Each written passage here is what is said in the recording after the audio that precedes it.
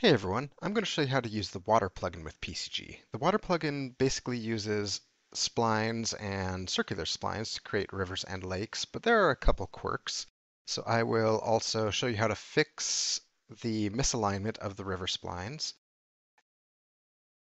And I'll also show you a straightforward way to determine whether a point is in the river or outside the river. And I'll show you how to do a fun little gradient at the boundary of rivers and lakes. This involves both detecting the boundary and outputting an attribute to a material. To follow along, you'll want to make sure you have the water plugin installed. Alright, first thing I'm going to do is add water body lake, and I'll add two rivers. Water body river, drag that out, and I will duplicate it, hold Alt, and drag it off to here. And there we go. We got two rivers connected up to this lake. All right, so now let's start the PCG. Blueprint, actor, BP underscore water, and I'll make a PCG, PCG underscore water. And in the blueprint, I'm going to add a spline and a PCG graph. And for the PCG, I can just select water. For the spline, I'm going to add a couple of points to it. And let me move this point a little off as well, and I'll make it a closed loop. Compile, save, and back into here, let me drag my blueprint into the world. I'm going to just expand it so it encompasses all of the water. That should be good. Let's shrink this one down a little bit. Okay, and now let's start on the PCG. I can close this blueprint. And I'm going to use a get spline data and set it to all world actors by class. And I'm just going to select water body. Water body lake will be the lake. And water body river will be the river. For the lake, I will use a spline sampler and set it to distance on interior. And if we debug that, we've got our lake points. For the river, it takes a little more. I'm going to start with a spline sampler. And if I debug this one, I'll set it to distance on spline as well. And don't forget to check select multiple on the get spline data node. This one is also looking fine, but if I update the river and change its width to 512, we can see that this is not shrinking with the river. And what I found is that if we rotate the river 90 degrees and we reset the bounds, then it will conform to the river size. So let's do that. Transform points, rotate it 90 degrees on the z-axis, bounds modifier. Set it to set.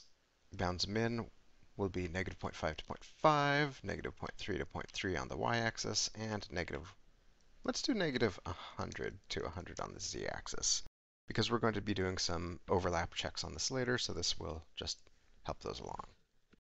And now we can see that the river sampling conforms pretty well to the river. All right, let's do a couple more things. If I debug both of these, we can see that the river overlaps the lake. Well, not this river, so let's fix that. And sometimes this does not regen. There we go. So now the river overlaps the lake. Let's uh, fix this so that we remove the overlap and actually save the overlapped sections. So for that, I can use an intersection node between the river and the lake. And if I plug this in and debug, I don't see anything. That's because this getSpline data is actually sending two separate point sets into the intersection node. And we have to merge before we can do that.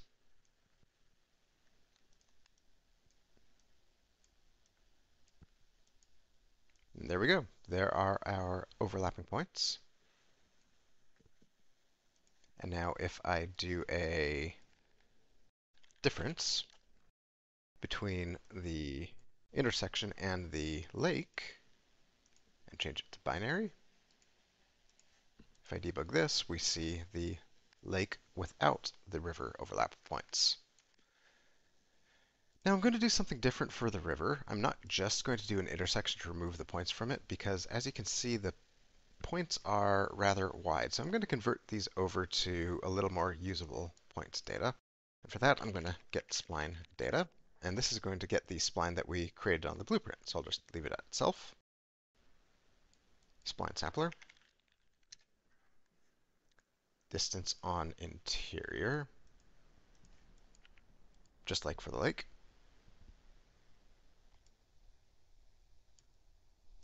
And now from this merge, I'm going to do an intersection.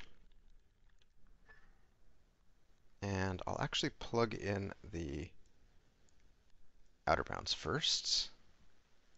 And now if I debug this, we see a bunch of little points. You can't really tell, so let me change this to absolute 0.5. There we go, a bunch of little points. And now we can remove the other points from this. So let's do the same difference here and plug in the intersection into the difference. And if I debug this, we're not seeing anything, and that is because these points aren't actually overlapping yet. See, there's a little gap between them, so I just need to increase their bounds a little bit. And while I increase the bounds here, we inherited the points from this spline data. So I'm going to need to increase the bounds somewhere else. I'll increase the bounds right here and just scale them up by, let's just do 5 and 5, and that should allow them to intersect. And there we go. So if I turn off this debug, we see the river without the lake points. Okay, we can do one last thing, and that is to convert these lake points to a gradient. For that, I will just use a distance node and use the source as the intersection, and the target will be the river. So the farther away from the river it is, the more the density changes. Let's set it to 2000, and I find center bounds on this works better than sphere bounds. And if I save this and debug this distance node, there's a nice little gradient. So if I enable the lake and the river, we can see that the points go from the river on into the lake, and there's a bit of gradient. It's not perfect, but let's address that now. I'm going to actually set up this intersection to look a little more pleasing. So for that, let me go ahead and select the water body river. And I will shrink down this little tangent setter here. And I'm going to duplicate this node once. And I'll duplicate it backwards a second time. And let me shrink this down again.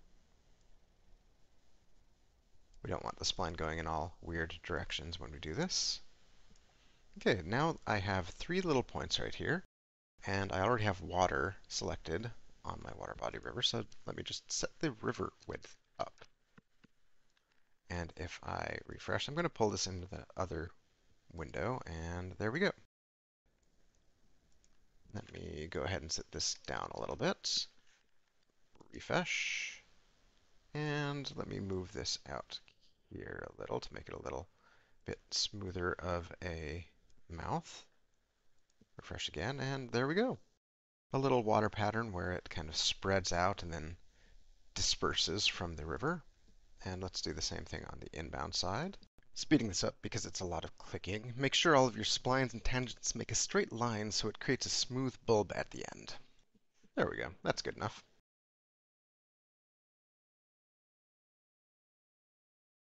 Let me debug these points again, see what we've got. Now we have the river is black, density, zero density, and as it flows into the lake, it raises its density. So now I'm going to feed all of this into transform points. Just shuffle everything around a little bit.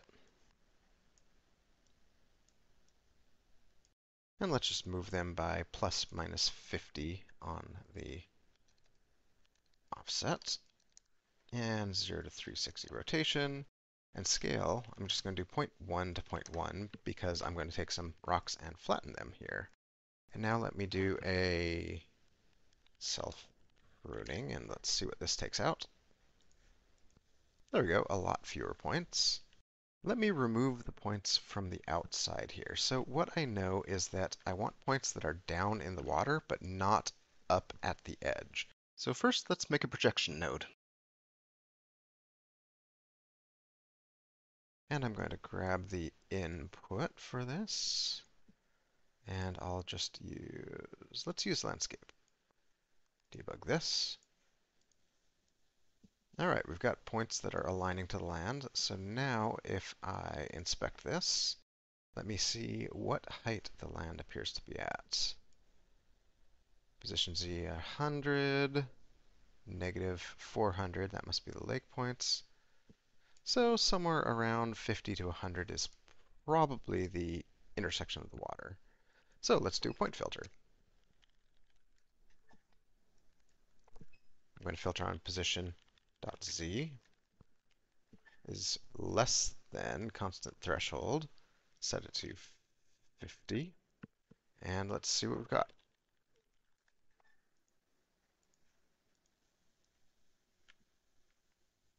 Yeah, that looks like things that are inside the river. So now I will just do a static mesh spawner. And I'm going to spawn new mesh entry and just use rock. Turn off debug here. And there we go, a bunch of rocks. They're not very flat though, so let's see what I need to do with that. Ah, I need to check uniform scale on this earlier transform points because right now these point ones are being ignored. There we go. Now we've got some flat rocks. Okay, so if you want to create something on the outside, you now have these points that you could use for stuff along the river's edge, little plant life, that sort of thing. And then if you subtract all of these points from these points using a difference node, you can spawn trees and all sorts of other things outside the water zone. That's pretty straightforward, so I'm not going to go over it now. What I am going to go over is how to modify these static meshes based on the density. And for that, I'm going to use an instance packer type of PCG instance packer by attribute. And now that I've done that, I can add an attribute. And I'm just going to call it green. And now I'm going to add, add an attribute operation. Because green doesn't currently exist, I'm going to copy density to green. And now I am sending green over based on density. And let me uh, merge these points because right now we're only seeing one set of points. Now if I debug, there we go. So density and green are 0.881 for some, and 1 for others, and 0 for others. All right, so now that I've done this, I have to actually use this attribute. So for that, I'm going to go into smrock, and in smrock, I'm going to select find the material, and I'm just going to duplicate this material. I'll call it m underscore green rock. And if I open this up, I can close smrock. And for green rock, I'm going to take this texture per instance custom data node, and this is going to be green. I have it set to data index 0, and in the PCG, the value that I'm sending over for green is index 0. And now I'm going to modify the texture based on the density. So for that, I'll use a 1 minus node. I'm going to be taking away from the non-green colors the more green it is, which will basically turn it green. So I'll multiply this 1 minus x by red, and I'll also multiply by blue. And now I can make a float 3 and hook the red and the blue up, and the green is just going to go straight in here as well. And from here, I'm just going to add a blend overlay I find is pretty pleasing, and the blend will be this new value that I've created, and the base color will be the base. Hook that up, save it. Now back in the PCG, saves, there we go. Now back in the PCG, if I scroll up, I have the override material. I'm just going to open that and type in green rock. And I'm going to just set this green rock material that I just created on these rocks. And if I look at this, and let me turn off the water just to make it a little easier to see what's going on. There we go. So on the river, we have the zero density rocks, which are still gray, and then it's kind of hard to see, but we've got a gradient from the rocks entering the lake, and in the still water of the lake, let's say, they are getting covered in moss and algae and whatever rocks get covered in and turning green, and then they go back to regular rocks outside. All right, so that should get you set up using the water plugin with PCG. Enjoy.